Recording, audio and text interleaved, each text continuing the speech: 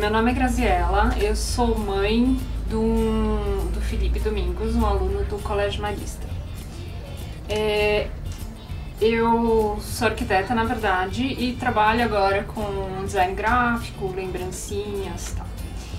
E como tá chegando o Dia das Crianças, é, eu resolvi explicar uma receita que eu, que eu peguei, na verdade.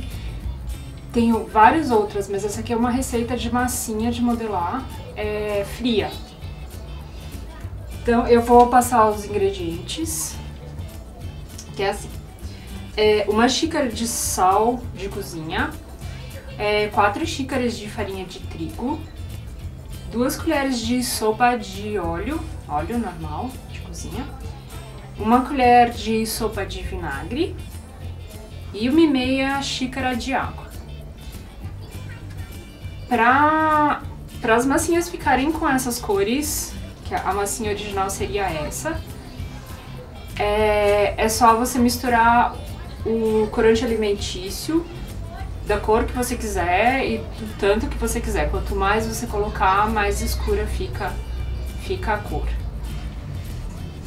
É, você vai pegar todos esses ingredientes, vai misturar, separa mais ou menos o, a, tamanho da bolinha que você quer de determinada cor, faz um furinho no meio e põe que os corantes alimentícios são esses aqui, são pequenininhos. Esse aqui é meio pastoso.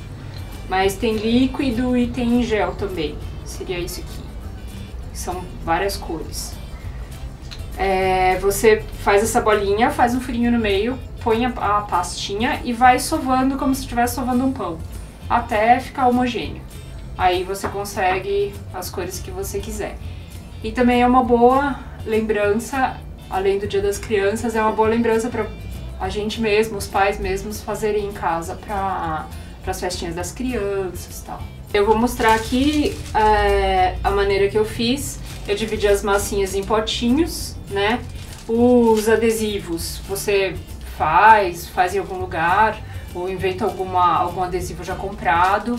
Eu, eu fiz, né? Recortei e colei aqui com o motivo da Peppa, por exemplo, que seria um aniversário é, com tema.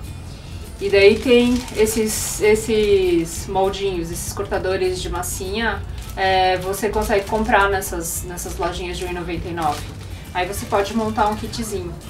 Dá pra fazer com as crianças na junto também. Elas se divertem, vocês se divertem. É isso. Feliz Dia das Crianças.